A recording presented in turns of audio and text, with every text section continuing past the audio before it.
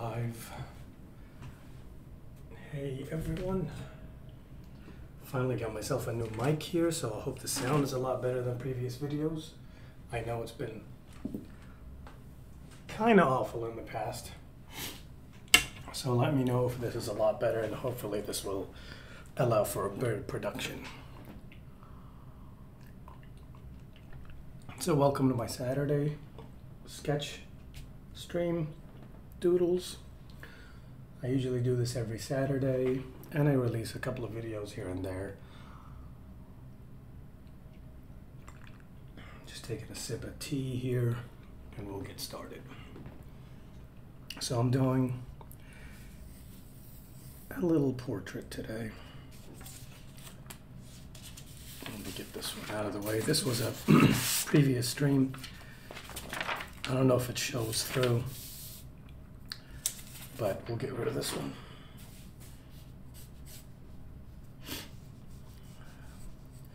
I'm excited to watch the new Thor movie, although I'm hearing hearing mixed reviews, so a little concerned. Um, I like Taika Waititi in general, but I'm a little sick of his kind of one note humor at this point. I've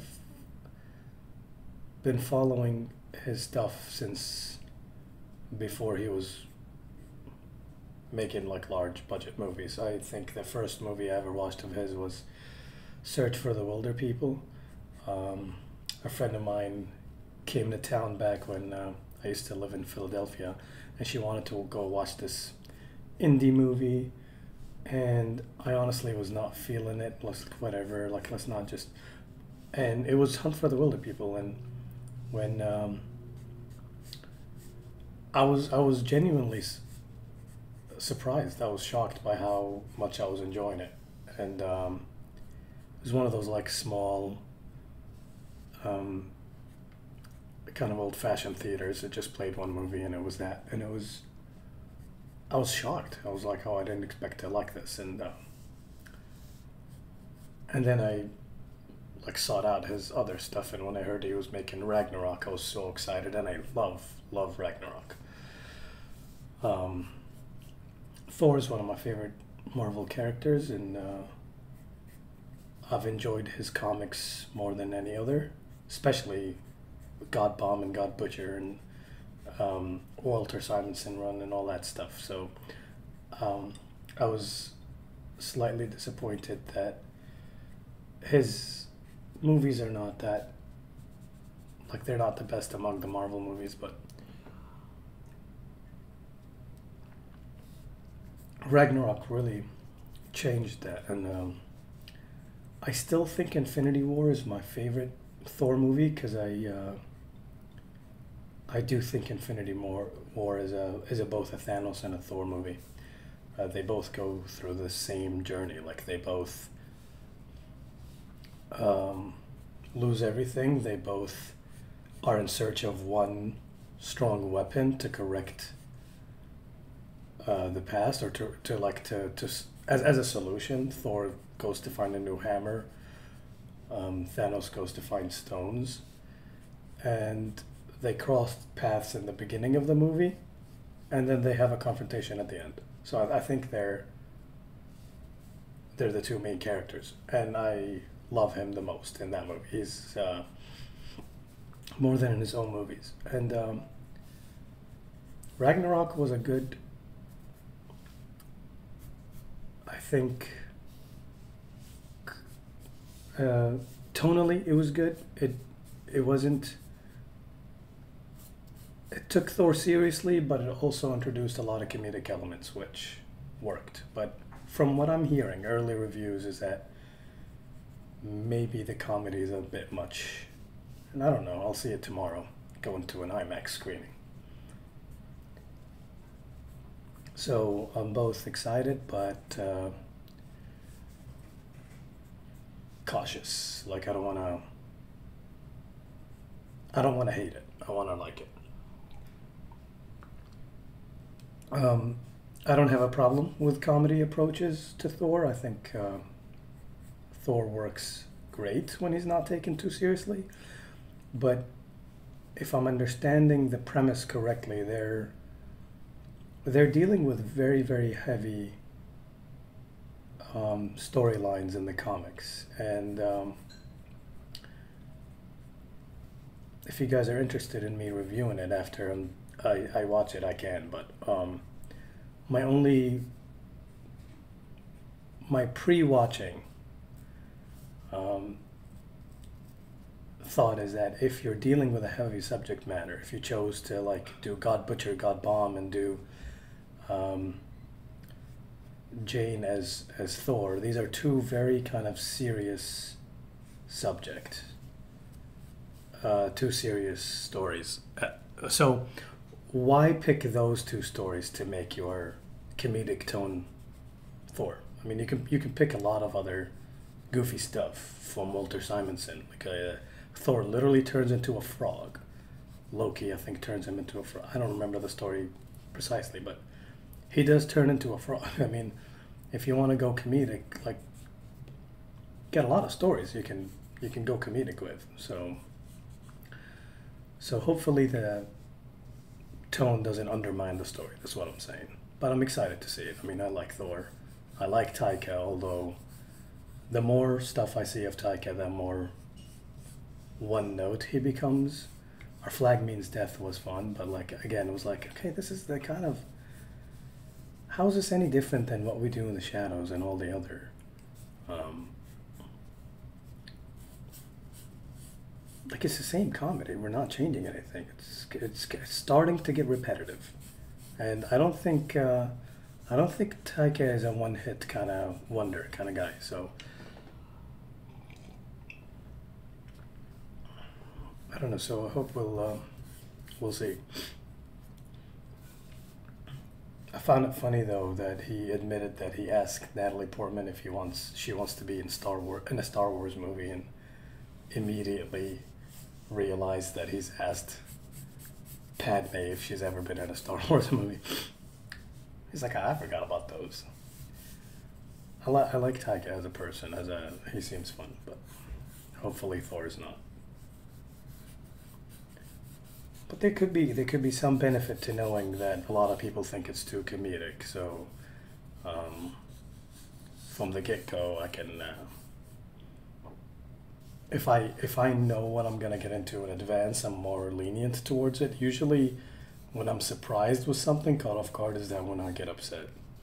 Like the first time I watched uh, Inglourious Basterds, I was having a really rough time because I didn't know a. Um, a large portion of the movie was gonna be subtitled. And had I known that before walking in, I would have done fine. I just needed to know. So the second time I watched it, I thought it was brilliant. But the first time I watched it, I was kind of going to passively watch a movie in the theaters. It was like, man, I did not know I was gonna be doing this much reading this afternoon. I'm, I'm a, a, a, in full transparency, I'm a little, or at least I used to be slower in reading subtitles, and it used to just frustrate me because I'm not done reading, and the conversation took a like I'm I'm always two sentences behind everybody. So I don't know. Does anybody else have that issue? Like I, I have a lot of attention deficit things, so I always turn subtitles on anyway because it forces me to pay attention. But when things are in a foreign language and I have to read sentence by sentence, sometimes I'm I'm slower. Like I need to I do better when I'm at home where I can like uh, pause and catch up especially for dialogue heavy stuff like Quentin Tarantino's is a lot of dialogue so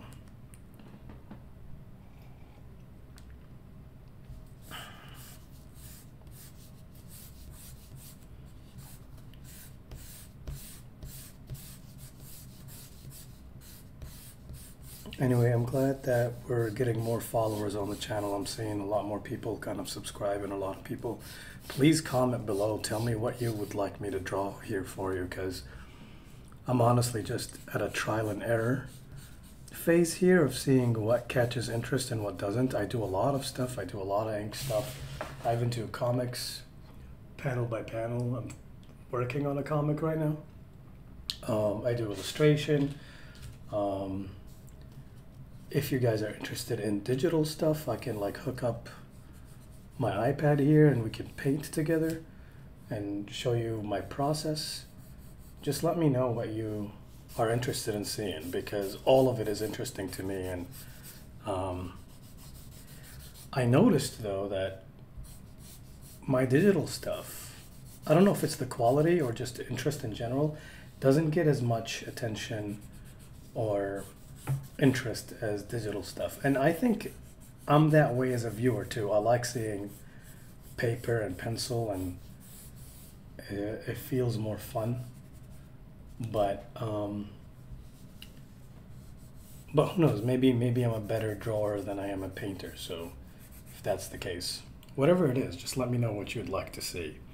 Um, if you're interested in some of the digital work, there's some digital stuff on the on the channel, but it's if you explore the page a little bit, but it's it's not from a really long time ago, but it's a while back.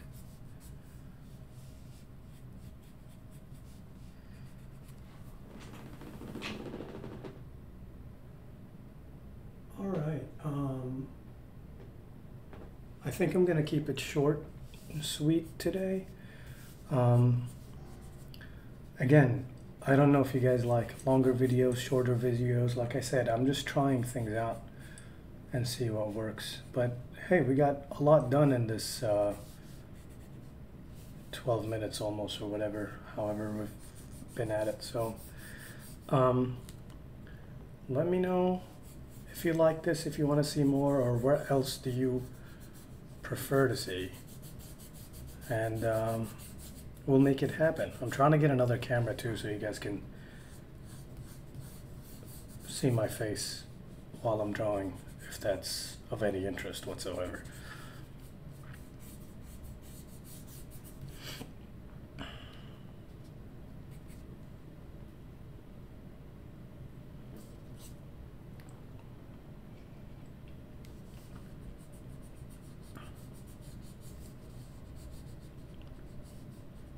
And a lot of you have been asking me what kind of material I've been using. It's just a Prismacolor pencil.